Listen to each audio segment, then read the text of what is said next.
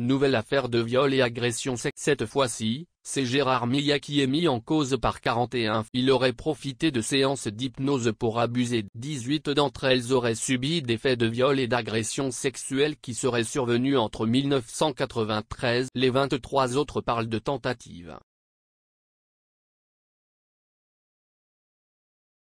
Gérard Millet a nié les faits qui lui sont reprochés en expliquant s'être toujours assuré du consentement des femmes qu'il avait pu fréquenter et récuse de la façon la plus catégorique qui soit toute agression sexuelle et, a plus Gérard Millet a nié le 7 février 2024, dans un message publié sur son compte X, anciennement Twitter, qu'il avait pu parfois y avoir entre des femmes plus jeunes et lui une dissymétrie qui lui semblerait le 7 février quelques jours plus tard, Isabelle Alonso, qui a longtemps collaboré avec Gérard Millet, notamment dans les émissions animées par Laurent Ruquier, a partagé un message pour le moins. On le chambrait souvent sur sa façon de repérer des jeunes filles dans le public, et d'aller les brancher pendant les pauses, avait-elle ainsi une sortie qui ne plaît pas du tout à maître Marie-Paul Pioli, avocate de l'une des plaignants. Selon elle, tout le monde était au courant qu'il repérait des jeunes femmes dans... Il y avait un embryon de défense des femmes représenté par Isabelle Alonso qui était chienne de garde, mais je ne sais pas qui. Jusqu'à présent, c'est le silence,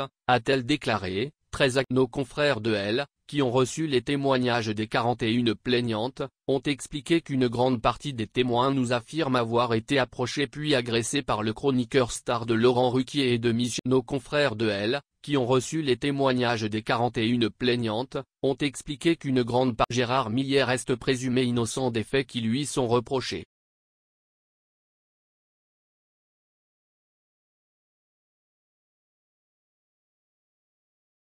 Gérard Millet reste présumé innocent des faits qui lui sont reprochés.